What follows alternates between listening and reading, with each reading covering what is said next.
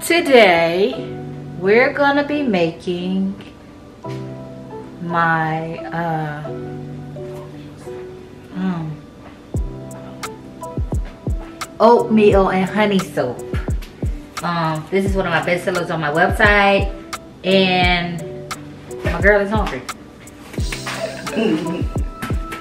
Anyways, so that's what I'm getting ready to do, right? So I already like to speed this whole, wait a minute.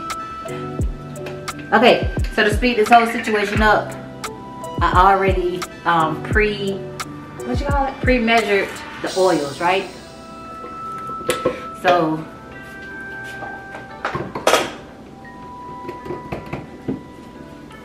this is olive oil. So in my recipe, I use olive oil, shea butter. Wait, maybe I should zoom it in. Hold on.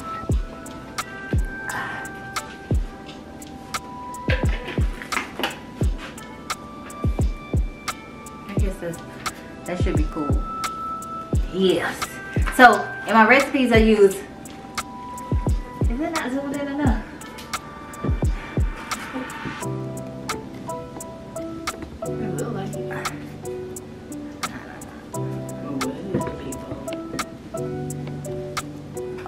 That should be good. Anyways, so in my recipe I use olive oil, right here, um, sunflower oil, which is right here, and uh, um, shea butter, right here, and coconut oil, which I gotta, it's over there, it's in some hot water because when I put it in the bag, it solidified because it was kind of cool.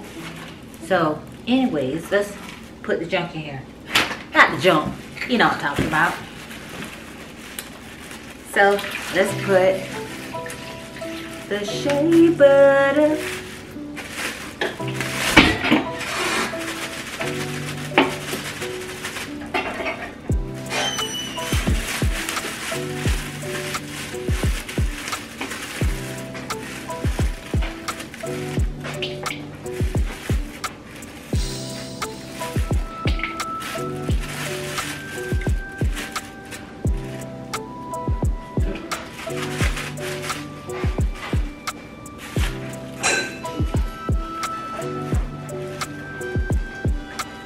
So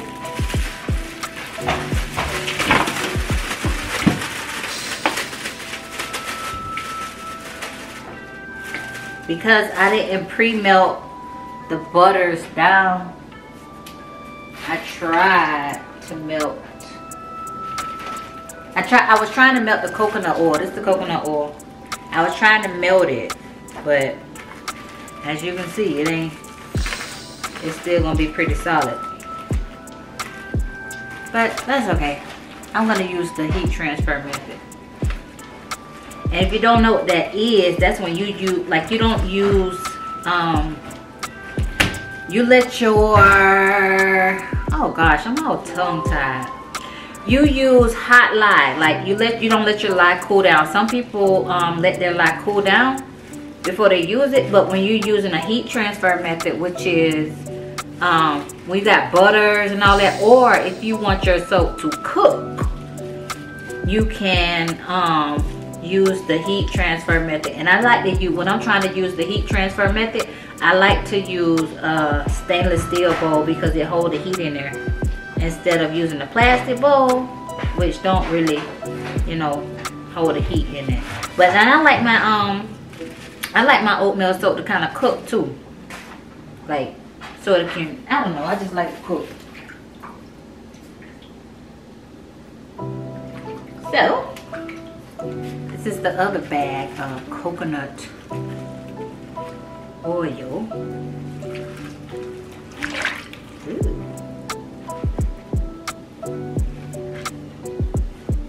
This video gonna be quick to watch.